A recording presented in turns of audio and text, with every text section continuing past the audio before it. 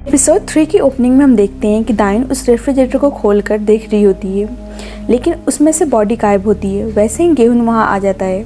इसके बाद हम एक पास्ट का सीन देखते हैं, जिसमें बचपन में गेहून बहुत ही ज़्यादा पॉपुलर था। उसकी क्लास के गर्ल्स उसके लिए लेटर लिखा करती थी, लेकिन जब से उसकी बहन मिसिंग हुई थी, उसे बस सिंपथी लेटर्स ही मिलते थे। जो गेहून को अच्छा नहीं लगता था और वो उन लेटर्स को फाड़ कर फेंक देता था। उसके पास बस दो ही लेटर्स थे, एक उसकी बहन का और दूसरा उसके क्लासमेट का, जिसने उसे कन्फेस किया था कि उसकी बहन के गायब होने में किसका हाथ है। इसके बाद हम प्रेजेंट का सीन देखते हैं, जहाँ गेवन तायन से पूछता है कि वो इतनी रात में यहाँ किस लिए आई है। वो बताती है कि रेस्टोरेंट का डोर खुला था, इसलिए वो चेक करने के लिए आ गई। गेवन बोलता है कि वो कैसे बिलीव कर ले कि वो सच बोल रही है। इसके बाद आयन बिना कुछ बोले वहाँ से जाने लगती है। तो गेवन उसे बोलता है कि अगर उसे कोई भी प्रॉब्लम है तो वो उसको बता सकती है। वो उसके साथ है। इसके बाद दाइन वहाँ से चुपचाप अपने घर चली जाती है और सोचने लगती है कि आखिरकार वो बॉडी गई कहाँ। गेहून भी बार बार उसी रेफ्रिजरेटर को देख रहा होता है। रात में यही सब सोच सोच के दाइन को नींद नहीं आती और हम देखते हैं कि गेहून भी नहीं सो पा रहा है। नेक्स्ट मॉर्निंग दाइन की फैमिली को देखते हैं जो इस इंसिडेंट के बाद ट्रॉमा में चली गई थी। वो उनको फ्रिज खोलने में भी डर लग रहा था कि कहीं उसके अंदर बॉडी तो नहीं है। डाइन बताती है कि वो उस रेस्टोरेंट में गई थी और उस रेफ्रिजरेटर में बॉडी गायब थी। ये सब सुन के दाइन की मदर उस पर बहुत ज़्यादा गुस्सा करती हैं और बोलती हैं कि उसको इतनी रात में वहाँ पे नहीं जाना चाहिए था। इसके बाद हम देखते हैं कि जिन्हों गेहून को बताता है कि सोसाइटी के लोग उसे अजीब नज़रों से देखते हैं, हमेशा उनको ही घूरते रहते हैं। वो गेहूँ से पूछता है कि क्या दाइन उसकी बहन हो सकती है? गेहून बताता है कि पॉसिबिलिटी बहुत कम है कि वो उसकी बहन है, लेकिन वो उसके इमोशंस को भी फील कर रहा है। जिन्हों बोलता है कि उसे दाइन को सच बता देना चाहिए और उसे कंफर्म कर लेना चाहिए कि वो उसकी बहन है या नहीं। लेकिन गेहून मना कर देता है क्योंकि उसको डर था कि कहीं आगे जाके कुछ प्रॉब्लम ना हो। जिन्होंने उसकी बहन के बारे में पूछता है कि वो बचपन में कैसी थी।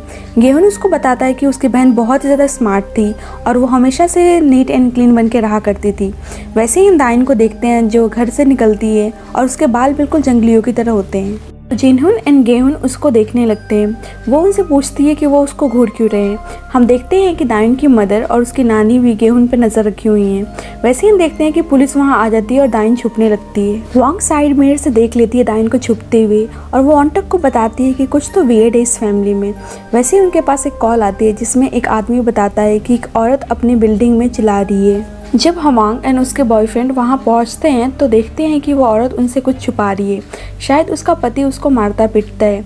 जब हवांग अंदर जाने की कोशिश करती है तो उस औरत का पति उसको रोकने लगता है और उसके साथ बदतमीज़ी करने लगता है, जो वंटक को अच्छा नहीं लगता है और वो उनको रोकता है। नेक्स्ट सीन में हम देखते हैं कि जैसे हायोंग घर के लिए निकल रही होती है, वैसे ही उसका एक्स बॉयफ्रेंड बाथरूम से अनड्रेस निकलता है। वो उससे पूछती है कि ये सब क्या है? वो बोलता है कि उसको पता तो है कि वो उसकी आदत है। शावर के बाद अनड्रेस्ड रहने की। हवांग बोलती है कि हाँ उसको सब कुछ पता है। और वो बाद में उस औरत के केस के बारे में बात करने लगती है कि वो उस औरत के साथ डोमेस्टिक वायलेंस हुआ है, लेकिन वो अपने पति के खिलाफ़ कंप्लेंट नहीं करना चाहती है। तो वॉन्टक उसको बताता है कि शायद उसको कानून पर भरोसा नहीं है। इसके बाद वो हवांग से डिनर के लिए पूछता है, लेकिन वो उसको मना कर देती है और बोलती है कि वो अपने जूनियर्स के साथ टाइम स्पेंड नहीं करती है। इन दोनों का केमिस्ट्री कुछ अलग ही नज़र आता है। हम हवांग को दायुन की मदर के रेस्टोरेंट में देखते हैं। दायुन की मदर वहाँ उसको देख के बुरी तरीके से इरीटेट हो जाती हैं। इसके बाद एक न्यू कैरेक्टर की एंट्री होती है, जिसका नाम यून जंग होता है। वो दायुन की मदर के रेस्टोरेंट में आई हुई होती है और वो वहाँ उन्हें एक फ़ोटो दिखाकर पूछती है कि क्या उन्होंने कभी इस लड़के को यहाँ पर देखा है? वो उस लड़के को अपना भाई बताती है और वो बोलती है कि वो बहुत ही टाइम से मिसिंग है। हम देखते हैं कि वो लड़का कोई और नहीं, बल्कि वही साइको है जो दायुन को स्टॉक किया करता था। लेकिन दाइन की मदर को उसका चेहरा याद नहीं था तो वो उसको मना कर देती हैं। इसके बाद वो लड़की रेस्टोरेंट से निकल जाती है और बाहर वो दाइन को नोटिस करती है, क्योंकि उसने अपने भाई के आईडीज़ में दाइन की फ़ोटोज़ को देखा था। तो वो उससे बात करने की कोशिश करती है फिर दाइन वहाँ से चली जाती है, पर रास्ते में उसे वॉन्टक मिलता है, जो उससे बात करने का ट्राई करता है। वैसे ही गेहून उन दोनों को देख लेता है और वो मिसअंडरस्टूड कर लेता है कि वो वही स्टॉकर है जिसने दाइन को चोट पहुँचाने की कोशिश करी थी। तो वो दाइन को बचाने के लिए जाता है और उसको पता चलता है कि वो एक पुलिस ऑफिसर है। तो दाइन उसे वॉन्टक से माफ़ी मांगने के लिए कहती है और बोलती है कि वो उसके मामले में ना पड़े। गेहून बताता है कि वो उसके लिए कुछ भी फील ना करे क्योंकि उसने एक दिन पहले ही उसको कहा था कि वो उसको पसंद करती है। इसके बाद हम लाइन को देखते हैं, जो लाइब्रेरी से घर के लिए आ रही होती है तो उसको लगता है कि फिर से कोई उसको स्टॉक कर रहा है और वो किसी के हाथ को नोटिस करती है और वो डर के जग जाती है। ये सब बस उसका एक नाइटमेयर होता है। दाइन के डर की वजह से गेहून भी डर जाता है और वो जग जाता है। दोनों घर से बाहर निकलते हैं तो गेहून दाइन को अपने रेस्टोरेंट में डिश ट्राई करने के लिए इनवाइट करता है, ताकि वो उसके मूड को लाइट कर सके। इसके बाद हम देखते हैं कि जब भी दाइन को नींद नहीं आती है, वो गेहून के रेस्टोरेंट में आ जाया करती है। उसे धीरे धीरे गेहून अच्छा लगने लगा। और वो गेहूँ के बनाए हुए डिश को बहुत ज़्यादा इंजॉय करती थी। वो उसके मूड को बहुत से ज़्यादा हैप्पी कर देता था। इसके बाद हम कुछ पुलिस ऑफिसर्स को देखते हैं जो साथ में डिनर कर रहे होते हैं और उनमें से एक पुलिस ऑफिसर एक क्रिमिनल के बारे में बता रहा होता है कि उसके बारे में एविडेंस न मिलने की वजह से उसको छोड़ना पड़ा। और वो क्रिमिनल वही होता है जो पेट्रोलिंग के टाइम हवांग उसको मना कर रही थी पी करने से। गेहून का दोस्त बोलता है कि उसने दायन से बात किया और उसके बारे में इन्फॉर्मेशन निकालने की कोशिश करी, जैसे उसका डेट ऑफ़ बर्थ एंड उसके बचपन का कुछ इंसिडेंट्स वो नोटिस करता है कि बाहर बारिश होने वाली है और दायन अम्ब्रेला लेकर नहीं गई हुई थी। इसके बाद हम गेहून को पास्ट के बारे में याद करते हुए देखते हैं, जब उसको लेटर मिला था। और उस लेटर में मेंशन था कि गेहून की सिस्टर के मर्डर में उसके पियानो टीचर का हाथ है। और वो लेटर उसी टीचर के बेटे का था। और दूसरा लेटर उसकी बहन का था, जिसमें उसने लिखा था कि जब भी उसको भूख लगे, वो उसको टेस्टी टेस्टी डिशेस बनाकर खिलाएगा। और जब भी बारिश हो, वो उसके लिए अम्ब्रेला लेकर आएगा। प्रेजेंट में हम गेहून को दाइन के लिए अम्ब्रेला लेकर जाते हुए देखते हैं और इसे देखकर दाइन बहुत ज़्यादा खुश हो जाती है। दाइन की मदद सोसाइटी की औरतों के साथ बैठी हुई होती हैं, जहाँ सब औरतें दाइन के करियर के बारे में बात कर रही होती हैं।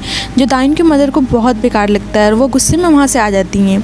घर आके वो दाइन को सिविल सर्विस एग्ज़ाम प्रिपरेशन करने के लिए प्रेसराइज करती हैं, जो दाइन मना कर देती है और उन दोनों के बीच में बहुत ज़्यादा फाइट हो जाती है। और दाइन रेस्टोरेंट से रोते हुए बाहर आ जाती है, जो गेहून भी नोटिस करता है। और ये चीज़ गेहून भी फील करता है, इसलिए वो खाना ऑफ़र करता है, लेकिन वो उससे जॉब मांगती है ताकि वो उसके रेस्टोरेंट में काम कर सके। गेहून का दोस्त छुपके से दोनों के बाल का सैंपल लेके डीएनए टेस्ट करवाने के लिए हॉस्पिटल आया हुआ होता है।